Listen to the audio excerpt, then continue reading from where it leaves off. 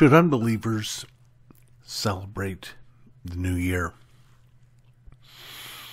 Well, if there was ever a year when everyone should celebrate a new year, it's probably this year.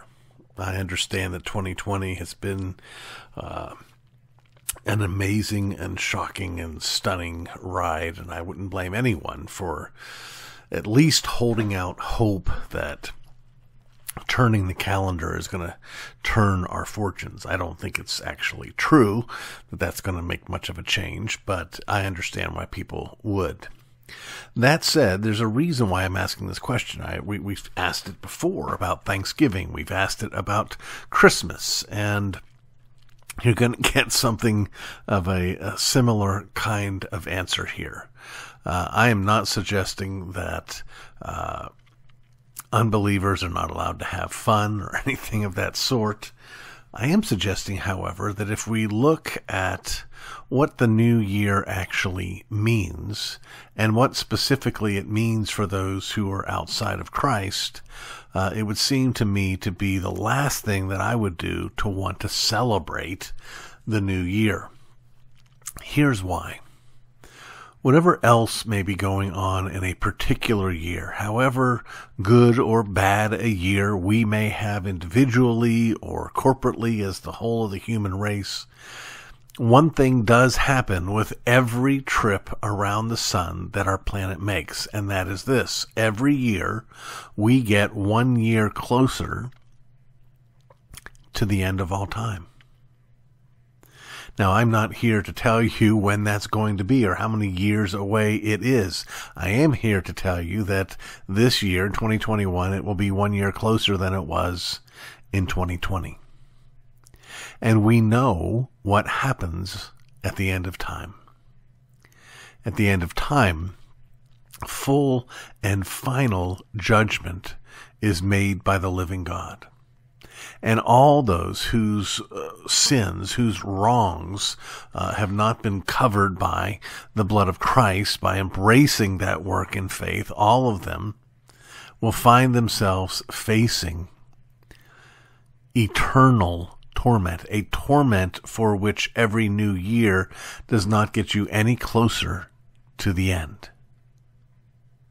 And so every new year on this plane, in this world, in the here and the now, gets them closer to a place where the torment will have no end. And by the way, a place where everyone that is there suffering the wrath of God in hell would do anything in their power to come back to 2020 and live through this all again.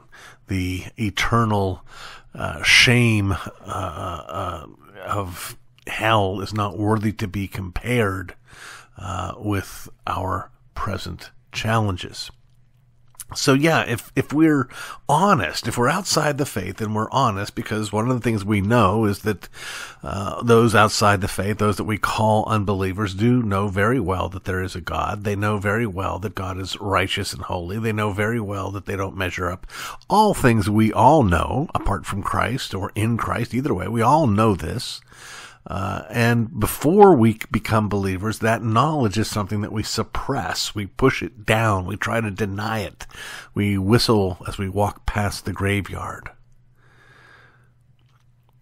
But we know what's coming. And that's why that whistling as we walk past the graveyard, it's like the clock struck another hour to show us that the final hour is an hour closer.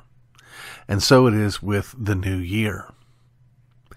Now, that said, when I speak about unbelievers, I hope everyone understands that uh, every one of us was an unbeliever once, and every believer was an unbeliever once, and every unbeliever, if they repent, if they turn to Christ, if they acknowledge their sin and their need for God's grace, if they beat their breasts and cry out, Lord, be merciful to me, a sinner, then they will then have every reason to celebrate every new year because it will get them closer to paradise.